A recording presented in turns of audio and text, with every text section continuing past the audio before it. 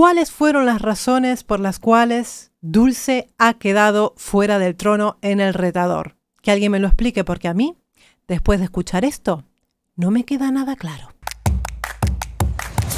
Si es la primera vez que pasas por el canal, te recomiendo que te suscribas y le des a la campanita para que te lleguen todas las notificaciones de los vídeos que subo semanalmente. Ahora sí no me entretengo más y vamos a ver qué es lo que hizo Dulce en esta interpretación.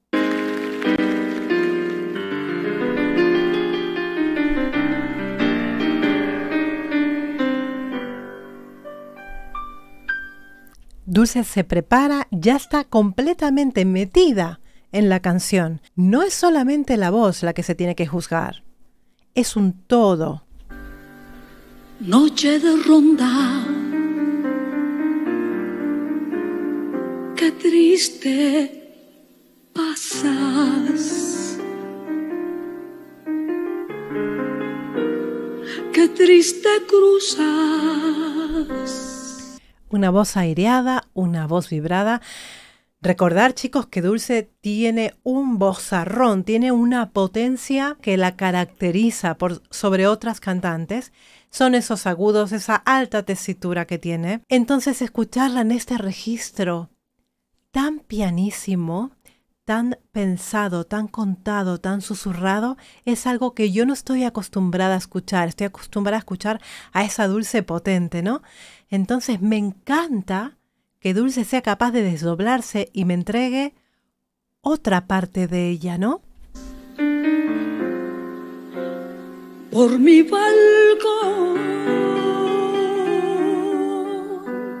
Fijaros también cómo cambia ella la postura de los labios. Oh, para hacer ese pianísimo, como que la voz se quede un poquito resonando dentro, ¿no? Y que vaya desapareciendo noche de ronda. ¿Cómo me hieres? Una voz hablada, una voz llorada.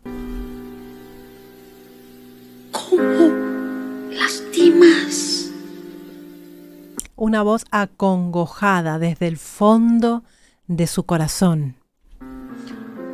Mi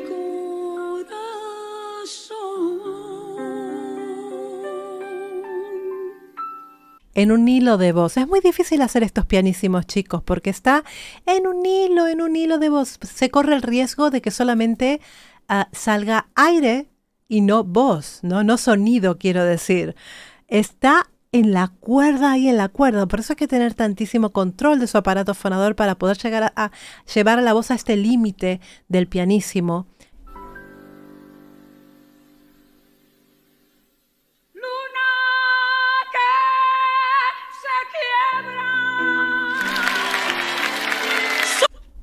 esperar un momento. Ustedes se han fijado. Vamos a volver a verlo. ¿Dónde se ha puesto Dulce el micrófono? ¿Ustedes han visto eso? Mira, mira, mira. Por debajo de la cintura la cadera.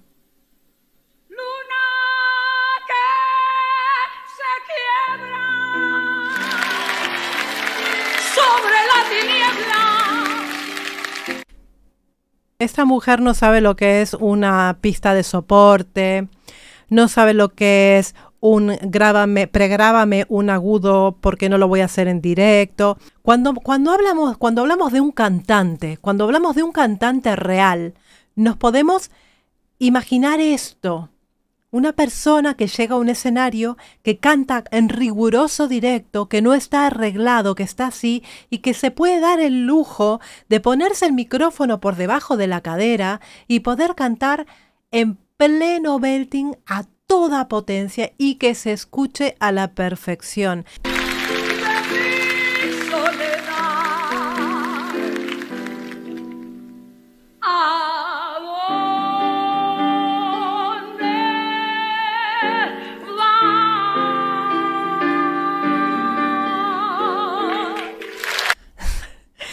Fijaros la colocación que tiene Dulce. Está súper en belting, está utilizando toda su potencia. Es decir, Dulce ha hecho un duelo a muerte. Porque Dulce se ha dejado la piel y la garganta arriba de ese escenario. Ha cantado como si fuera la última vez que fuera a cantar. De esa manera ha cantado Dulce. Por eso no me explico qué es lo que tienen en la cabeza el jurado del retador que han hecho lo que han hecho. Porque no tiene ni pies ni cabeza. Que alguien me lo explique. Dime si esta noche tú te vas de ronda como él se fue. Es que es dolor. Es que es dolor lo que saca Dulce por la boca. Y al que no, el que no sienta esto es porque no tiene alma. Porque esta mujer está cantando con el corazón en la mano. Es imbatible esta presentación. Es impresionante, chicos. ¿Con quién ¿Ves? está? De toda la potencia absoluta hace una voz con una congoja, con un poco de constricción, ¿no? Como, como cuando uno está llorando y no le salen las palabras, que tienes que hacer fuerza inclusive para hablar, por esa congoja. Así es como suena el ¿con quién? Apenas puede hablar. Es que no, es que no.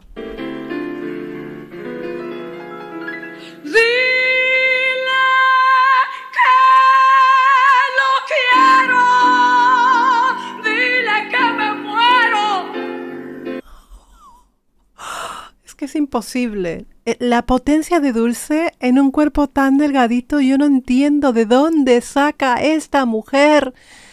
¿De dónde saca? ¿De dónde lo saca? Por el amor de Dios.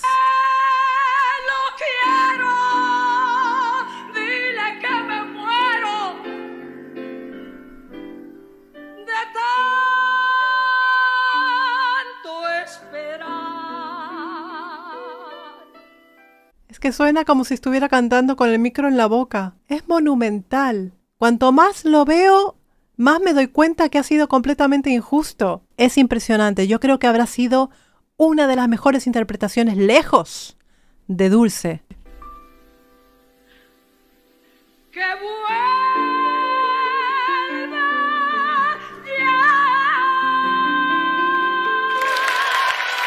Sí, exactamente. Esa es la cara. Esa es la cara de decir, ¿cómo puede ser? Tiene una manera tan sencilla de pasar a su mixed voice que tú ni te das cuenta. ¡Que vuelva! ¡Ya!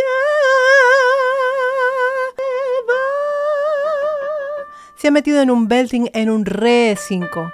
En un re 5 con toda su potencia.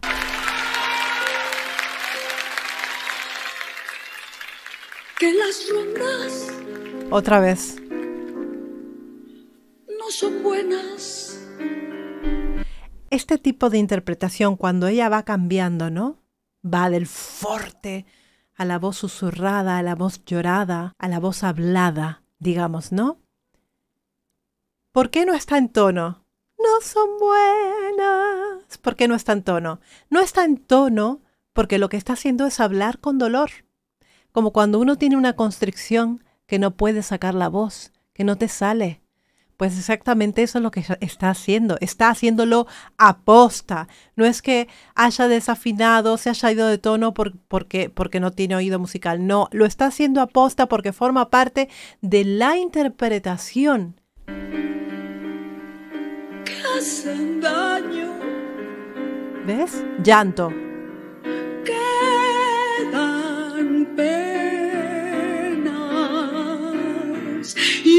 Ahí se nota perfectamente cómo ella baja el velo del paladar para que la voz quede dentro. Se dan cuenta el gesto. Penas.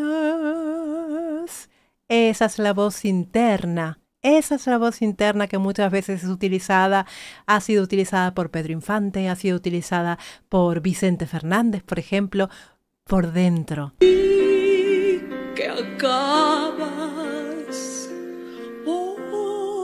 Ahí ves lo que pasó por...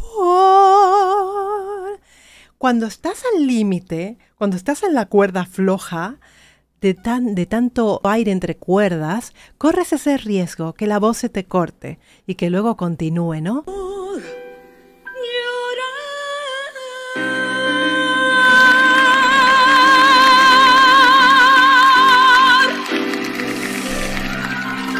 Mirad, mirar este final. Mira este final desde la voz, desde el pianísimo al forte. Fíjate, fíjate lo gradual. Ella no necesita que, les, que le hagan ningún efecto en el micrófono. Ella sola se maneja el efecto como si ella tuviera eh, estas perillitas que suben el volumen, que lo suben y que lo bajan. Es exactamente eso lo que, lo que ella hace, pero con la voz lo hace ella sola.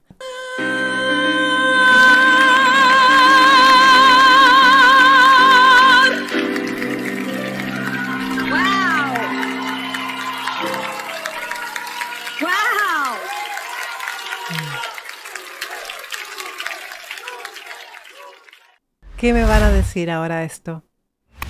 Yo creo, chicos, que la... Yo he visto las dos, ¿eh? he visto las dos presentaciones, tanto la de Karina eh, como la de Dulce. Y, debo decir que me, tengo que decantar por Dulce porque si no estaría muy, muy, muy equivocada. Karina es una buena intérprete, canta muy bien, eh, tiene una bonita voz, pero si, si pongo las dos actuaciones en la balanza, está claro, está clarísimo que Dulce ha sido muy, muy superior. Me extraña que en un panel de profesionales haya pasado esto. Me extraña muchísimo y ahí lo voy a dejar. Chicos, muchas gracias por venir a ver el vídeo. Me lo han pedido muchísimo. Aquí lo tenéis. Les voy a mandar un besito muy grande desde Barcelona. Ya saben, suscribiros al canal, darle un like si les ha gustado este vídeo para que YouTube siga promocionándolo y así siga creciendo este canal. Un besito muy grande y como siempre les digo, muy buen trabajo para todos.